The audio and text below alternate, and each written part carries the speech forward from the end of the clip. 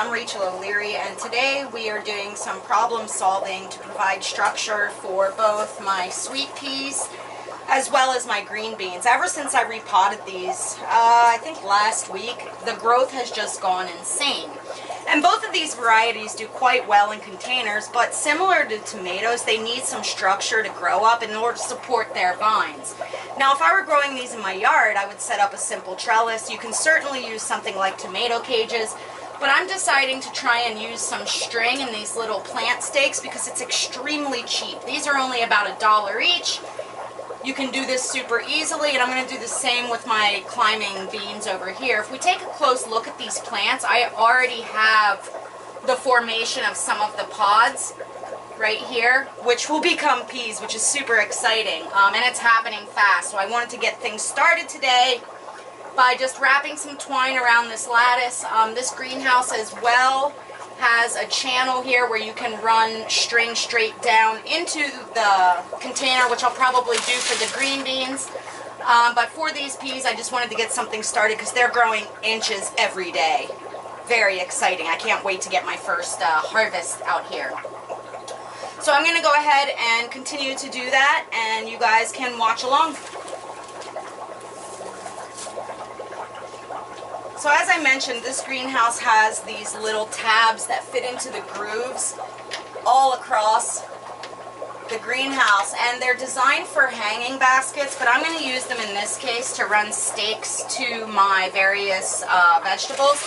I've also picked up some uh, landscaping, what are they called? This is not in English. Uh, landscaping staples to just tie the string to in the pot in order to hold it in a secure fashion for these guys to climb. Now, if you wanted to do this on your own, you could certainly use something like rebar or bamboo or really any spare scrap lumber, even PVC would work. Um, I'm just using stuff that I already had in my arsenal. And we'll see how it works. We may need to edit this in the future. But for now, I think it should work just fine. Now I chose to use sisal, which is a biodegradable twine because um, when these are done burying their, their veggies for me, I can toss this twine and the plants into compost. Um, and it's just better that for me than having to sort of dig through and remove stuff. Or if I were to discard it, then it, it's biodegradable. Now the nice thing about growing um, peas and green beans in containers like this is that you can really overcrowd them because they grow vertically. So it works out really, really well. Uh, and this also means you could grow them on a patio, fire escape, or anything like that. In fact, it might actually get too warm here in the greenhouse for them. We'll have to see how it goes. Generally, these are a great spring vegetable or a fall vegetable, not necessarily known for mass production in the summer months.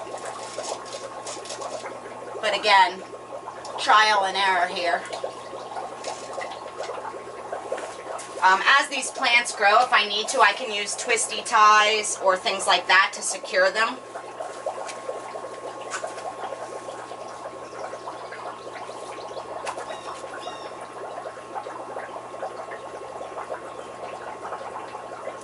Now you guys have asked a lot in the comments about this greenhouse and I did do a full review which I can link you to. It's called a Grow More greenhouse kit and I could not be more pleased with it in all honesty. Of course there's a learning curve because I don't know what I'm doing. Um, but that's not the greenhouse's fault. Uh, the only issue I've had at all with this as far as construction and assembly is that one of the hydraulic panels um, that open when it gets hot which is an aftermarket part, not part of the kit anyway. Um, one of them had has failed and I need to replace it, which is easy enough to do.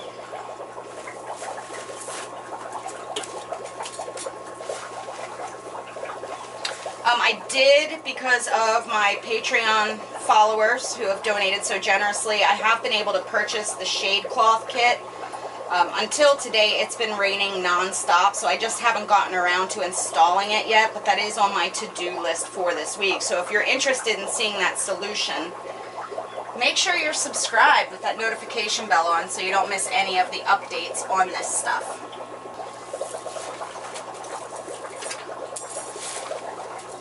I'm going to go ahead and finish up here and we'll take a closer look.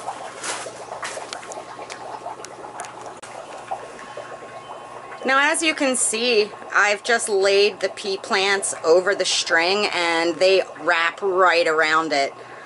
Um, up here, you can see some baby peas forming as well as right there and really all over these plants. They are exceptionally quick growing and super easy to grow.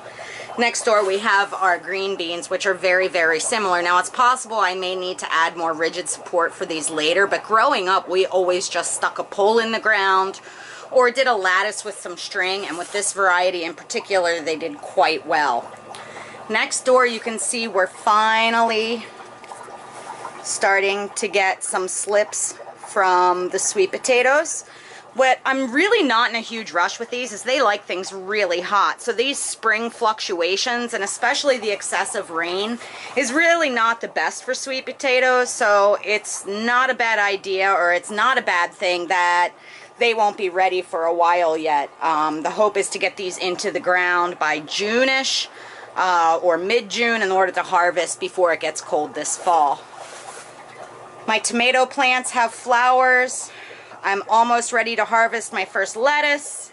And all in all, the greenhouse is so far so good with all the vegetable production that I have planned. Stay tuned for updates. Um, and we'll also be moving fish out this week. So something that's really important to us is to not use chemicals on our lawn at all ever. Uh, this is a theme that is in my aquariums as well as in our food and our living space. Um, we've had a really substantial issue, you can't see it now and you'll see why in a moment, with weeds growing into our gravel drive.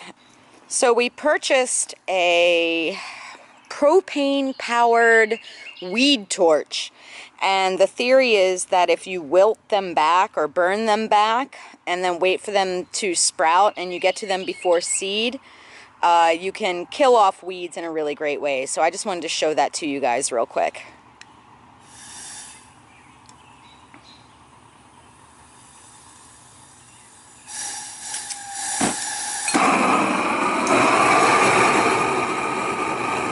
So this is obviously the second treatment, but if we look closely, you can see weeds growing back through. And the first time we went a bit overboard in that Chris incinerated them, um, but from what we've learned, if you just hit them until they wilt, that robs the roots of the nutrients and the supplies that they need to continue to grow. And then you come back as soon as they sprout again, hit them again and do that until they're gone completely. It's sort of the same concept of like laser hair removal where you you zap them down into the roots. So we're giving it a shot here. Um,